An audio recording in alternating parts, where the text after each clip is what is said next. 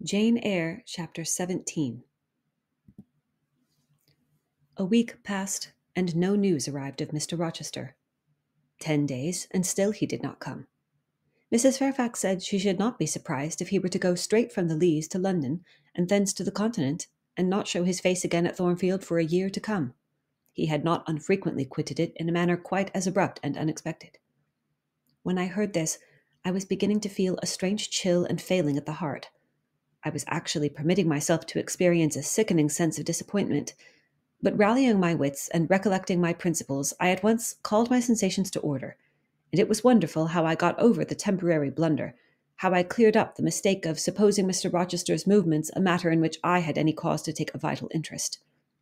Not that I humbled myself by a slavish notion of inferiority. On the contrary, I just said, You have nothing to do with the master of Thornfield further than to receive the salary he gives you for teaching his protege, and to be grateful for such respectful and kind treatment as, if you do your duty, you have a right to expect at his hands. Be sure that is the only tie he seriously acknowledges between you and him. So don't make him the object of your fine feelings, your raptures, agonies, and so forth. He is not of your order. Keep to your caste, and be too self respecting to lavish the love of the whole heart, soul, and strength where such a gift is not wanted and would be despised. I went on with my day's business tranquilly, but ever and anon vague suggestions kept wandering across my brain of reasons why I should quit Thornfield, and I kept involuntarily framing advertisements and pondering conjectures about new situations. These thoughts I did not think to check. They might germinate and bear fruit if they could. Mr. Rochester had been absent upwards of a fortnight when the post brought Mrs. Fairfax a letter. It is from the master, said she, as she looked at the direction. Now I suppose we shall know whether we are to expect his return or not. And while she broke the seal and perused the document, I went on taking my coffee. We were at breakfast. It was hot, and I attributed to that circumstance a fiery glow which suddenly rose to my face. Why my hand shook, and why I involuntarily spilt half the contents of my cup into my saucer, I did not choose to consider. Well, I sometimes think we are too quiet, but we run a chance of being busy enough now, for a little while at least, said Mrs. Fairfax, still holding the note before her spectacles. Ere I permitted myself to request an explanation, I tied the string of Adele's pinafore, which happened to be loose. Having helped her also to another bun and refilled her mug with milk, I said, nonchalantly, Mr. Rochester is not likely to return soon, I suppose. Indeed, he is. In three days, he says. That will be next Thursday. And not alone either. I don't know how many of the fine people at the Leas are coming with him. He sends directions for all the best bedrooms to be prepared, and the library and drawing rooms are to be cleaned out. I am to get more kitchen hands from the George Inn at Millcote and from wherever else I can, and the ladies will bring their maids and the gentlemen their valets. So we shall have a full house of it. And Mrs. Fairfax swallowed her breakfast and hastened away to commence operations. The three days were, as she had foretold, busy enough. I had thought all the rooms at Thornfield beautifully clean and well arranged, but it appears I was mistaken. Three women were got to help, and such scrubbing, such brushing, such washing of paint and beating of carpets, such taking down and putting up of pictures, such polishing of mirrors and lustres, such lighting of fires in bedrooms, such airing of sheets and feather beds on hearths I never beheld, either before or since. Adele ran quite wild in the midst of it. The preparations for company and the prospect of their arrival seemed to throw her into ecstasies. She would have Sophie to look over all her toilette, as she called frocks, to furbish up any that were passé, and to air and arrange the new. For herself, she did, she did nothing but caper about in the front chambers, jump on and off the bedsteads, and lie on the mattresses and piled up bolsters and pillows before the enormous fires roaring in the chimneys. From school duties, she was exonerated. Mrs. Fairfax had pressed me into her service, and I was all day in the storeroom, helping or hindering her and the cook learning to make custards and cheesecakes and French pastry, to truss game and garnish dessert dishes. The party were expected to arrive on Thursday afternoon, in time for dinner at six. During the intervening period, I had no time to nurse chimeras, and I believe I was as active and gay as anybody, Adele excepted. Still, now and then, I received a damping check to my cheerfulness, and was, in spite of myself, thrown back on the region of doubts and portents and dark conjectures. This was when I chanced to see the third story staircase door, which of late had always been kept locked, open slowly and give passage to the form of Grace Poole, in prim cap, white apron, and handkerchief. When I watched her glide along the gallery, her quiet tread muffled in a list slipper, when I saw her look into the bustling, topsy turvy bedrooms, just say a word, perhaps, to the charwoman about the proper way to polish a grate, or clean a marble mantelpiece, or take stains from papered walls, and then pass on. She would thus descend to the kitchen once a day, eat her dinner, smoke a moderate pipe on the hearth, and go back, carrying her pot of porter with her, for her private solace in her own gloomy upper haunt. Only one hour in the twenty four did she pass with her fellow servants below. All the rest of her time was spent in some low ceiled oaken chamber of the second story. There she sat and sewed, and probably laughed drearily to herself, as companionless as a prisoner in his dungeon. The strangest thing of all was that not a soul in the house except me noticed her habits or seemed to marvel at them. No one discussed her position or employment. No one pitied her solitude or isolation. I once, indeed, overheard part of a dialogue between Leah and one of the charwomen, of which Grace formed the subject. Leah had been saying something I had not caught, and the charwoman remarked, She gets good wages, I guess. Yes, said Leah. I wish I had as good. Not that mine are to complain of. There's no stinginess at Thornfield, but they're not one fifth of the sum Mrs. Poole receives. And she is laying by. She goes every quarter to the bank at Millcote. I should not wonder but she has saved enough to keep her independent if she liked to leave. But I suppose she's got used to the place. And then she's not forty yet, and strong and able for anything. It is too soon for her to give up business. She is a good hand, I dare say, said the charwoman. Ah, she understands what she has to do. Nobody better, rejoined Leah significantly. And it is not everyone could fill her shoes. Not for all the money she gets. That it is not, was the reply. I wonder whether the master. The charwoman was going on, but here Leah turned and perceived me, and she instantly gave her companion a nudge. Doesn't she know? I heard the woman whisper. Leah shook her head, and the conversation was, of course, dropped. All I had gathered from it amounted to this that there was a mystery at Thornfield, and that from participation in that mystery I was purposely excluded. Thursday came. All work had been completed the previous evening. Carpets were laid down, bed hangings festooned, radiant white counterpanes spread, toilet tables arranged, furniture rubbed, flowers piled in vases. Both chambers and saloons looked as fresh and bright as hands could make them. The hall, too, was scoured, and the great carved clock, as well as the steps and banisters of the staircase, were polished to the brightness of glass. In the dining room, the sideboard flashed resplendent with plate. In the drawing room and boudoir, vases of exotics bloomed on all sides. Afternoon arrived. Mrs. Fairfax assumed her best black satin gown, her gloves, and her gold watch, for it was her part to receive the company, to conduct the ladies to their rooms, etc. Adele, too, would be dressed though I thought she had little chance of being introduced to the party that day at least. However, to please her, I allowed Sophie to apparel her in one of her short, full muslin frocks. For myself, I had no need to make any change. I should not be called upon to quit my sanctum of the schoolroom. For a sanctum it was now become to me, a very pleasant refuge in time of trouble. It had been a mild, serene spring day, one of those days which, towards the end of March or the beginning of April, rise shining over the earth as heralds of summer. It was drawing to an end now, but the evening was even warm, and I sat at work in the schoolroom with the window open. It gets late, said Mrs. Fairfax, entering in rustling state. I am glad I ordered dinner an hour after the time Mr. Rochester mentioned, for it is past six now. I have sent John down to the gates to see if there is anything on the road. One can see a long way from thence in the direction of Millcote. She went to the window. Here he is, said she. Well, John, leaning out. Any news? They're coming, ma'am, was the answer. They'll be here in ten minutes. Adele flew to the window. I followed, taking care to stand on one side so that, screened by the curtain, I could see without being seen. The ten minutes John had given seemed very long, but at last wheels were heard. Four equestrians galloped up the drive, and after them came two open carriages. Fluttering veils and waving plumes filled the vehicles.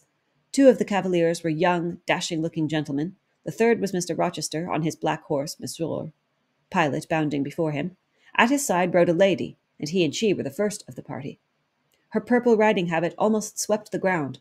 Her veil streamed long on the breeze. Mingling with its transparent folds and gleaming through them shone rich raven ringlets. Miss Ingram! exclaimed Mrs. Fairfax, and away she hurried to her post below. The cavalcade, following the sweep of the drive, quickly turned the angle of the house, and I lost sight of it. Adele now petitioned to go down, but I took her on my knee and gave her to understand that she must not on any account think of venturing in sight of the ladies, either now or at any other time, unless expressly sent for, that Mr. Rochester would be very angry, etc. Some natural tears she shed on being told this, but as I began to look very grave, she consented at last to wipe them. A joyous stir was now audible in the hall. Gentlemen's deep tones and ladies' silvery accents blent harmoniously together, and distinguishable above all, though not loud, was the sonorous voice of the master of Thornfield Hall, welcoming his fair and gallant guests under its roof. Then light steps ascended the stairs, and there was a tripping through the gallery, and soft, cheerful laughs, and opening and closing doors, and for a time a hush. Elle change de toilette, said Adele, who, listening attentively, had followed every movement, and she sighed. Chez maman, said she. Quand il avait du monde, je les suivais partout, au salon et à leur chambre. Souvent je regarde les femmes de chambre coiffer et habiller les dames, et c'était si amusant, comme cela en prend. Don't you feel hungry, Adele? Mais oui, mademoiselle. Voilà cinq ou six heures que nous n'avons pas mangé. Well, now, while the ladies are in their rooms, I will venture down and get you something to eat. And issuing from my asylum with precaution, I sought a back stairs which conducted directly to the kitchen. All in that region was fire and commotion. The soup and fish were in the last stage of projection, and the cook hung over her crucibles in a frame of mind and body threatening spontaneous combustion. In the servants' hall, two coachmen and three gentlemen's gentlemen stood or sat round the fire. The Abigails, I suppose, were upstairs with their mistresses. The new servants that had been hired from Millcote were bustling about everywhere. Threading this chaos, I at last reached the larder. There I took possession of a cold chicken, a roll of bread, some tarts, a plate or two, and a knife and fork. With this booty, I made a hasty retreat. I had regained the gallery, and was just shutting the back door behind me, when an accelerated hum warned me that the ladies were about to issue from their chambers. I could not proceed to the schoolroom without passing some of their doors, and running the risk of being surprised with my cargo of victualage, so I stood still at this end, which, being windowless, was dark, quite dark now, for the sun was set and twilight gathering. Presently the chambers gave up their fair tenants one after another. Each came out gaily and airily, with dress that gleamed lustrous through the dark. For a moment they stood grouped together at the other extremity of the gallery, conversing in a key of sweet subdued vivacity, they then descended the staircase almost as noiselessly as a bright mist rolls down a hill. Their collective appearance had left on me an impression of high born elegance such as I had never before received. I found Adele peeping through the schoolroom door, which she held ajar. What beautiful ladies! cried she in English. Oh, I wish I might go to them. Do you think Mr. Rochester will send for us by and by after dinner? No, indeed, I don't. Mr. Rochester has something else to think about. Never mind the ladies tonight. Perhaps you will see them tomorrow. Here is your dinner. She was really hungry, so the chicken and tarts served to divert her attention for a time. It was well I secured this forage, or both she and I, or both she, I, and Sophie, to whom I conveyed a share of our repast, would have run a chance of getting no dinner at all. Every Everyone downstairs was too much engaged to think of us. The dessert was not carried out till after nine, and at ten, footmen were still running to and fro with trays and coffee cups. I allowed Adele to sit up much later than usual, for she declared she could not possibly go to sleep while the doors kept opening and shutting below, and people bustling about. Besides, she added, a message might possibly come from Mr. Rochester when she was undressed. Et alors quel dommage!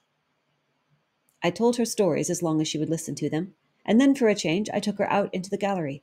The hall lamp was now lit, and it amused her to look over the balustrade and watch the servants passing backwards and forwards. When the evening was far advanced, a sound of music issued from the drawing room, whither the piano had been removed. Adele and I sat down on the top step of the stairs to listen. Presently, a voice blent with the rich tones of the instrument. It was a lady who sang, and very sweet her notes were. The solo over, a duet followed, and then a glee, a joyous conversational murmur filled up the intervals. I listened long.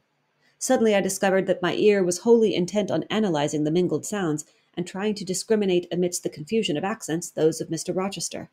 And when it caught them, which it soon did, it found a further task in framing the tones, rendered by distance inarticulate, into words. The clock struck eleven. I looked at Adele, whose head leant against my shoulder. Her eyes were waxing heavy, so I took her up in my arms and carried her off to bed. It was near one before the gentlemen and ladies sought their chambers. The next day was as fine as its predecessor. It was devoted by the party to an excursion to some site in the neighbourhood. They set out early in the forenoon, some on horseback, the rest in carriages. I witnessed both the departure and the return. Miss Ingram, as before, was the only lady equestrian, and as before, Mr. Rochester galloped at her side. The two rode a little apart from the rest. I pointed out this circumstance to Mrs. Fairfax, who was standing at the window with me. You said it was not likely they should think of being married, said I. But you see, Mr. Rochester evidently prefers her to any of the other ladies. Yes, I dare say. No doubt he admires her. And she him, I added. Look how she leans her head towards him as if she were conversing confident, confidentially. I wish I could see her face. I have never had a glimpse of it yet. You will see her this evening, answered Mrs. Fairfax. I happened to remark to Mr. Rochester how much Adele wished to be introduced to the ladies, and he said, Oh, let her come into the drawing room after dinner and request Miss Eyre to accompany her. Yes, he said that from mere politeness. I need not go, I am sure, I answered. Well, I observed to him that as you were unused to company, I did not think you would like appearing before so gay a party, all strangers, and he replied in his quick way, Nonsense! If she objects, tell her it is my particular wish, and if she resists, say I shall come and fetch her in case of contumacy. I will not give him trouble, that trouble, I answered. I will go, if no better may be, but I don't like it. Shall you be there, Mrs. Fairfax? No, I pleaded off, and he admitted my plea. I'll tell you how to manage so as to avoid the embarrassment of making a formal entrance, which is the most disagreeable part of the business. You must go into the drawing room while it is empty, before the ladies leave the dinner table. Choose your seat in any quiet nook you like. You need not stay long after the gentlemen come in, unless you please. Just let Mr. Rochester see you there, and then slip away. Nobody will notice you. Will these people remain long, do you think? Perhaps two or three weeks, certainly not more. After the Easter recess, Sir George Lynn, who was lately elected member for Millcote, will have to go up to town and take his seat. I dare say Mr. Rochester will accompany him. It surprises me that he has already made so protracted a stay at Thornfield. It was with some trepidation that I perceived the hour approach when I was to repair with my charge to the drawing room.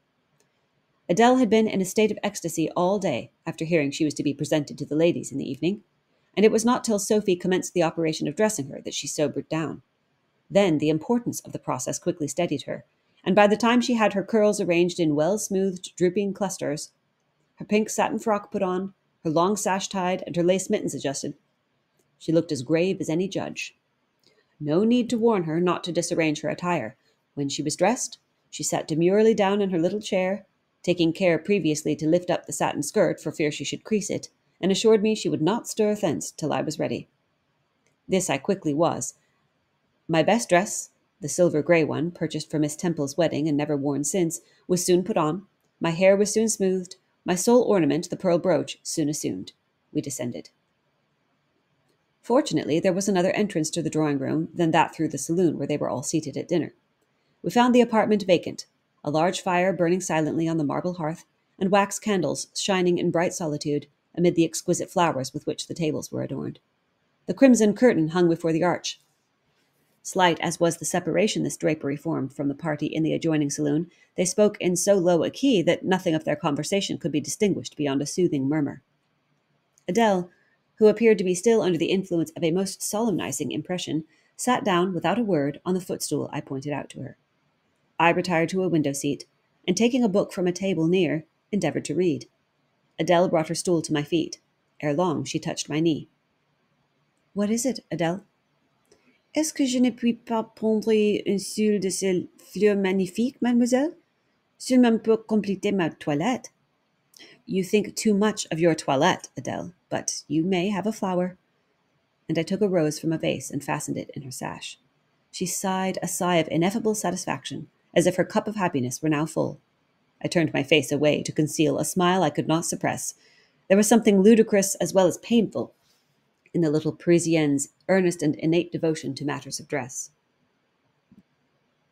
A soft sound of rising now became audible. The curtain was swept back from the arch.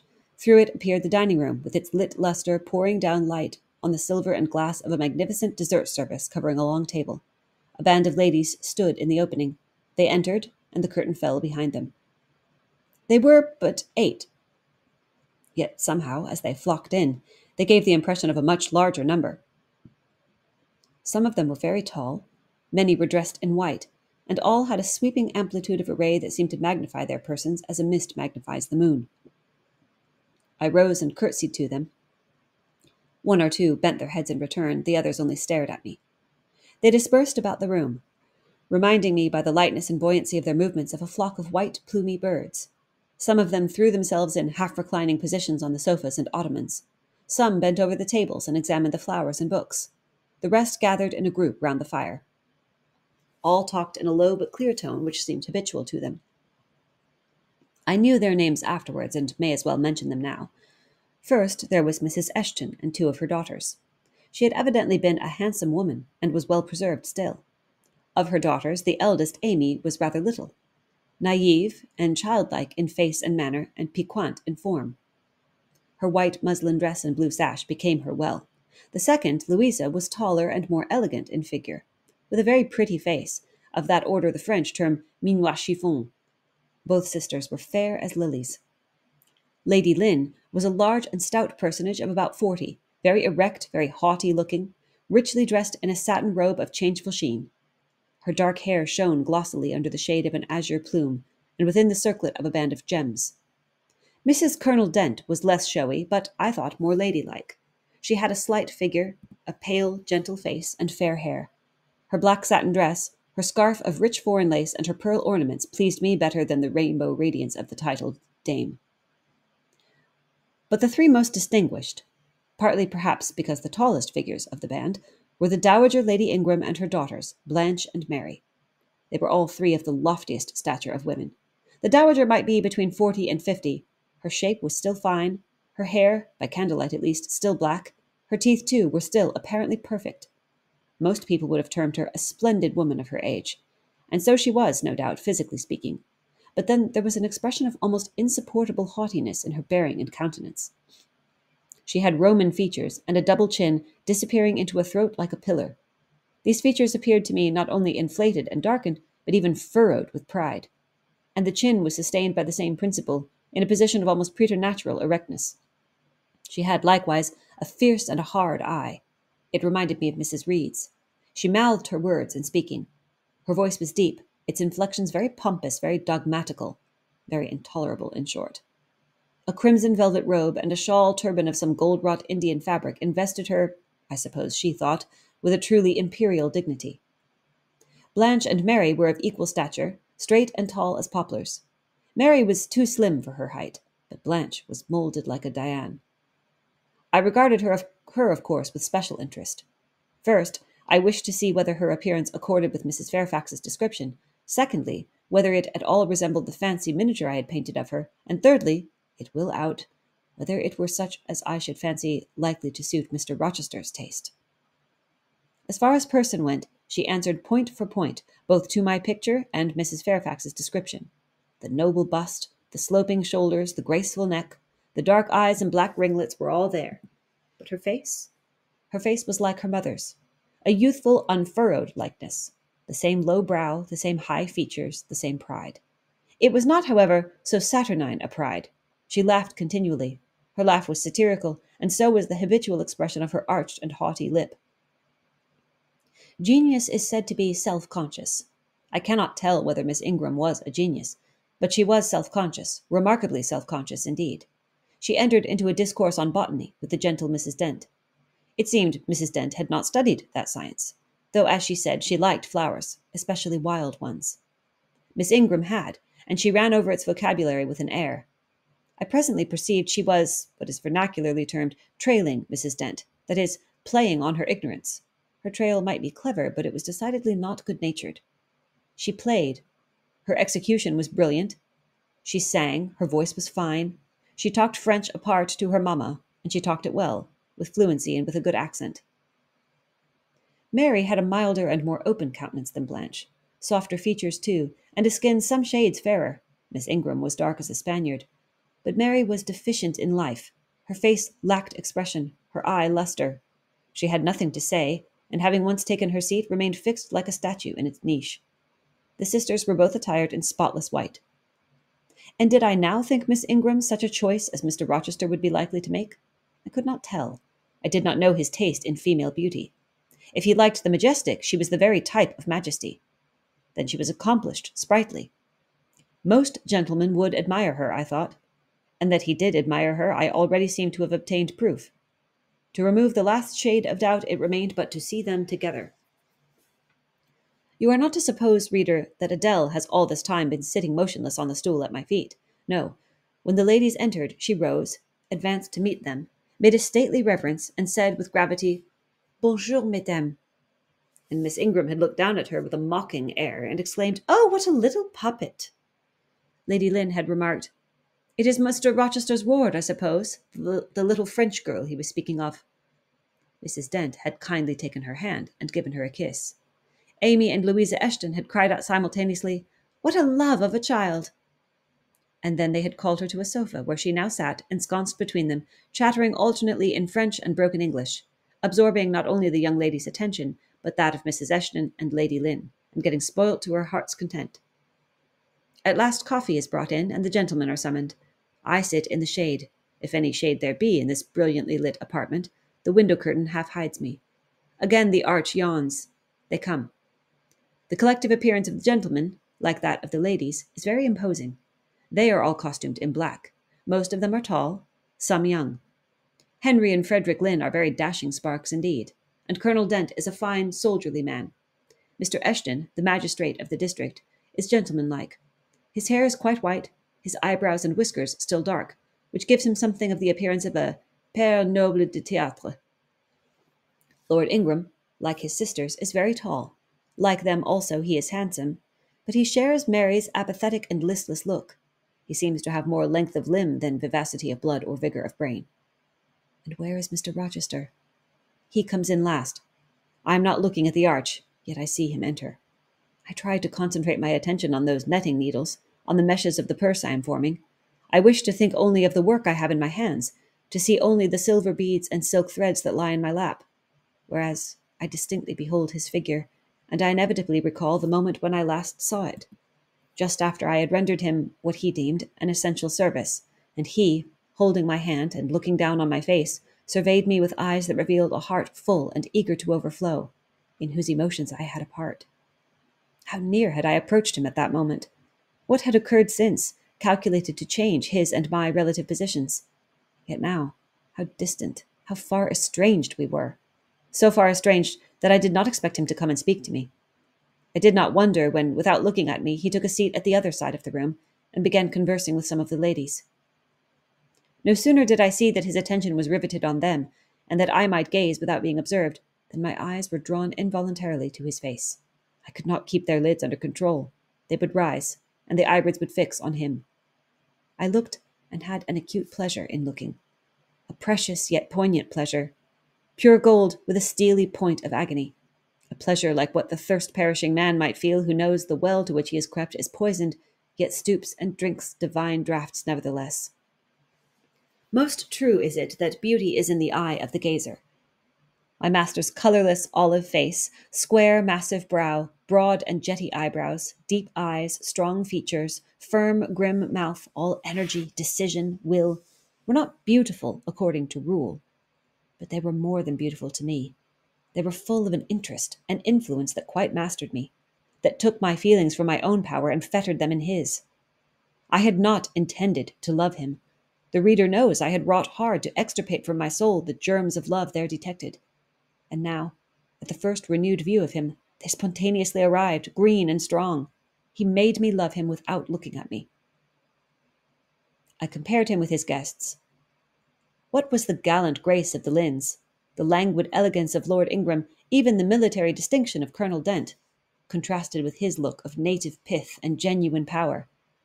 I had no sympathy in their appearance, their expression. Yet I could imagine that most observers would call them attractive, handsome, imposing, while they would pronounce Mr. Rochester at once harsh featured and melancholy looking. I saw them smile, laugh. It was nothing. The light of the candles had as much soul in it as their smile the tinkle of the bell as much significance as their laugh. I saw Mr. Rochester smile. His stern features softened, his eye grew both brilliant and gentle, its ray both searching and sweet. He was talking at the moment to Louisa and Amy Eshton. I wondered to see them receive with calm that look which seemed to me so penetrating. I expected their eyes to fall, their colour to rise under it. Yet I was glad when I found they were in no sense moved. He is not to them what he is to me, I thought. He is not of their kind. I believe he is of mine. I am sure he is. I feel akin to him. I understand the language of his countenance and movements. Though rank and wealth sever us widely, I have something in my brain and heart, in my blood and nerves, that assimilates me mentally to him. Did I say, a few days since, that I had nothing to do with him but to receive my salary at his hands? Did I forbid myself to think of him in any other light than as a paymaster? Blasphemy against nature. Every good, true, vigorous feeling I have gathers impulsively round him. I know I must conceal my sentiments. I must smother hope. I must remember that he cannot care much for me. For when I say that I am of his kind, I do not mean that I have his force to influence and his spell to attract. I mean only that I have certain tastes and feelings in common with him. I must then repeat continually that we are forever sundered, and yet, while I breathe and think, I must love him. Coffee is handed. The ladies, since the gentlemen entered, have become lively as larks. Conversation waxes brisk and merry. Colonel Dent and Mr. Eshton argue on politics. Their wives listen. The two proud dowagers, Lady Lynn and Lady Ingram, confabulate together. Sir George, whom, by the by, I have forgotten to describe, a very big and very fresh feeling, fresh looking country gentleman, stands before their sofa, coffee cup in hand, and occasionally puts in a word. Mr. Frederick Lynn has taken a seat beside Mary Ingram and is showing her the engravings of a splendid volume. She looks, smiles now and then, but apparently says little. The tall and phlegmatic Lord Ingram leans with folded arms on the chair back of the little and lively Amy Eshton. She glances up at him and chatters like a wren. She likes him better than she does Mr. Rochester. Henry Lynn has taken possession of an ottoman at the feet of Louisa. Adele shares it with him. He is trying to talk French with her, and Louisa laughs at, her, at his blunders. With whom will Blanche Ingram pair? She is standing alone at the table, bending gracefully over an album. She seems waiting to be sought, but she will not wait too long. She herself selects a mate. Mr. Rochester, having quitted the Eshtons, stands on the hearth as solitary as she stands by the table. She confronts him, taking her station on the opposite side of the mantelpiece. Mr. Rochester, I thought you were not fond of children. Nor am I, then what induced you to take charge of such a little doll as that? pointing to Adele. Where did you pick her up? I did not pick her up. She was left on my hands. You should have sent her to school. I could not afford it. Schools are so dear. Why, I suppose you have a governess for her. I saw a person with her just now. Is she gone? Oh, no, there she is still, behind the window curtain. You pay her, of course. I should think it quite as expensive, more so for you have them both to keep in addition. I feared, or should I say, hoped, the allusion to me would make Mr. Rochester glance my way, and I involuntarily shrank farther into the shade, but he never turned his eyes. I have not considered the subject, said he indifferently, looking straight before him. No, you men never do consider economy and common sense. You should hear Mamma on the chapter of governesses. Mary and I have had, I should think, a dozen at least in our day half of them detestable and the rest ridiculous, and all incubi. incubi. Were they not, mamma? Did you speak, my own? The young lady thus claimed as the dowager's special property reiterated her question with an explanation. My dearest, don't mention governesses. The word makes me nervous. I have suffered a martyrdom from their incompetency and caprice. I thank heaven I have now done with them. Mrs. Dent here bent over to the pious lady and whispered something in her ear. I suppose, from the answer elicited, it was a reminder that one of the uh, anathematized race was present. Tant pis, said her ladyship. I hope it may do her good. Then, in a lower tone, but still loud enough for me to hear, I noticed her. I am a judge of physiognomy, and in hers I see all the faults of her class. What are they, madam? inquired Mr. Rochester aloud.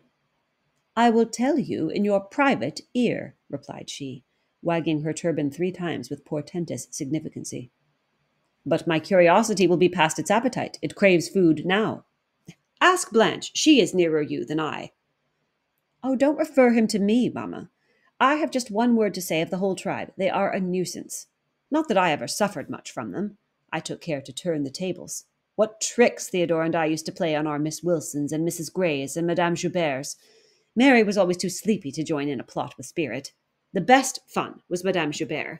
Miss Wilson was a poor, sickly thing, lachrymose and low spirited, not worth the trouble of vanquishing, in short. And Mrs. Grey was coarse and insensible. No blow took effect on her. But poor Madame Joubert! I see her yet in her raging passions when we had driven her to extremities, spilt our tea, crumbled our bread and butter, tossed our books up to the ceiling, and played a charivari with the ruler and desk, the fender and fire irons. Theodore, do you remember those merry days? Yes, to be sure I do, drawled Lord Ingram. And the poor old stick used to cry out, Oh, you villains, childs! And then we sermonized her on the presumption of attempting to teach such clever blades as we were, when she was herself so ignorant. We did. And Tedo, you know, I helped you in prosecuting or persecuting your tutor, whey faced Mr. Vining, the parson in the pip, as we used to call him. He and Miss Wilson took the liberty of falling in love with each other, at least Tedo and I thought so. We surprised sundry tender glances and sighs, which we interpreted as tokens of la belle passion. And I promise you the public soon had the benefit of our discovery. We employed it as a sort of lever to hoist our dead weights from the house. Dear mamma there, as soon as she got an inkling of the business, found out that it was of an immoral tendency. Did you not, my lady mother? Certainly, my best, and I was quite right, depend on that. There are a thousand reasons why liaisons between governesses and tutors should never be tolerated a moment in any well regulated house. Firstly, oh, gracious mamma, spare us the enumeration. Au reste, we all know them danger of bad example to innocence of childhood, distractions and consequent neglect of duty on the part of the attached, mutual alliance and reliance, confidence thence resulting, insolence accompanying, mutiny and general blow up. Am I right, Baroness Ingram of Ingram Park? My lily flower, you are right now, as always. Then no more need be said. Change the subject. Amy Eshton, not hearing or not heeding this dictum, joined in with her soft infantine tone. Louisa and I used to quiz our governess too, but she was such a good creature she would bear anything. Nothing put her out. She was never cross with us, was she, Louisa? No, never. We might do what we pleased, ransack her desk and her work box, and turn her drawers inside out, and she was so good natured she would give us anything we asked for. I suppose now, said Miss Ingram, curling her lip sarcastically, we shall have an abstract of the memoirs of all the governesses extant, in order to avert such a visitation, I again move the introduction of a new topic. Mr. Rochester, do you second my motion? Madam, I support you on this point as on every other. Then on me be the onus of bringing it forward. Signor Eduardo, are you in voice tonight? Donna Bianca, if you command it, I will be. Then, signor, I lay on you my sovereign behest to furbish up your lungs and other vocal organs as they will be wanted on my royal service. Who would not be the Rizzio of so divine a Mary? A fig for Rizzio, cried she, tossing her head with all its curls as she moved to the piano. It is my opinion the fiddler David must have been an insipid sort of fellow. I like Black Bothwell better. To my mind, a man is nothing without a spice of the devil in him, and history may say what it will of James Hepburn, but I have a notion he was just the sort of wild, fierce bandit hero whom I could have consented to gift with my hand. Gentlemen, you hear? Now, which of you most resembles Bothwell? cried Mr. Rochester. I should say the preference lies with you, responded Colonel Dent. On my honor, I am much obliged to you, was the reply. Miss Ingram, who had now seated herself with proud grace at the piano, spreading out her snowy robes in queenly amplitude, commenced a brilliant prelude, talking meantime. She appeared to be on her high horse tonight. Both her words and her air seemed intended to excite not only the admiration but the amazement of her auditors. She was evidently bent on striking them as something very dashing and daring indeed. Oh, I am so sick of the young men of the present day, exclaimed she, rattling away at the instrument. Poor puny things, not fit to stir a step beyond Papa's park gates, nor to go even so far without Mamma's permission and guardianship. Creatures so absorbed in care about their pretty faces and their white hands and their small feet, as if a man had anything to do with beauty, as if loveliness were not the special prerogative of woman, her legitimate ap- appanage and heritage. I grant an ugly woman is a blot on the fair face of creation, but as to the gentlemen, let them be solicitous to possess only strength and valor. Let their motto be hunt, shoot, and fight. The rest is not worth a fillip.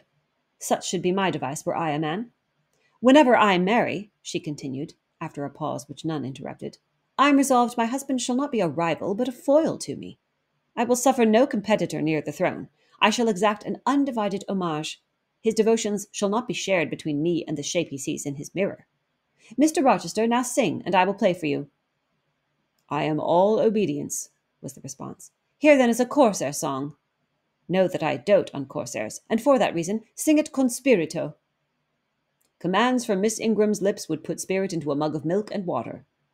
Take care, then. If you don't please me, I will shame you by showing how such things should be done. That is offering a premium on incapacity. I shall now endeavour to fail. Gardez-vous en bien. If you err wilfully, I shall devise a proportionate punishment. Miss Ingram ought to be clement, for she has it in her power to inflict a chastisement beyond mortal endurance. Ha! Explain, commanded the lady. Pardon me, madam, no need of explanation. Your own fine sense must inform you that one of your frowns would be a sufficient substitute for capital punishment. Sing, said she, and again touching the piano, she commenced an accompaniment in spirited style. Now is my time to slip away, thought I. But the tones that then severed the air arrested me. Mrs. Fairfax had said Mr. Rochester possessed a fine voice. He did. A mellow, powerful bass into which he threw his own feeling, his own force, finding a way through the ear to the heart, and there waking sensation strangely. I waited till the last deep and full vibration had expired, till the tide of talk, checked an instant, had resumed its flow. I then quitted my sheltered corner and made my exit by the side door, which was fortunately near. Thence a narrow passage led into the hall. In crossing it, I perceived my sandal was loose. I stopped to tie it, kneeling down for that purpose on the mat at the foot of the staircase. I heard the dining room door unclose, a gentleman came out. Rising hastily, I stood face to face with him. It was Mr. Rochester. How do you do? he asked. I am very well, sir. Why did you not come and speak to me in the room? I thought I might have retorted the question on him who put it, but I would not take that freedom. I answered, I did not wish to disturb you, as you seemed engaged, sir. What have you been doing during my absence? Nothing particular. Teaching Adele as usual and getting a good deal paler than you were, as I saw at first sight. What is the matter? Nothing at all, sir. Did you take any cold that night you half drowned me? Not the least. Return to the drawing room. You are deserting too early. I am tired, sir. He looked at me for a minute. And a little depressed, he said. What about? Tell me. Nothing. Nothing, sir. I am not depressed. But I affirm that you are. So much depressed that a few more words would bring tears to your eyes. Indeed, they are there now, shining and swimming, and a bead has slipped from the lash and fallen on to the flag. If I had time, and was not in mortal dread of some prating prig of a servant passing, I would know what all this means. Well, tonight I excuse you, but understand that so long as my visitors stay, I expect you to appear in the drawing room every evening. It is my wish. Don't neglect it. Now go and send Sophie for Adele. Good night, my. He stopped, bit his lip, and abruptly left me.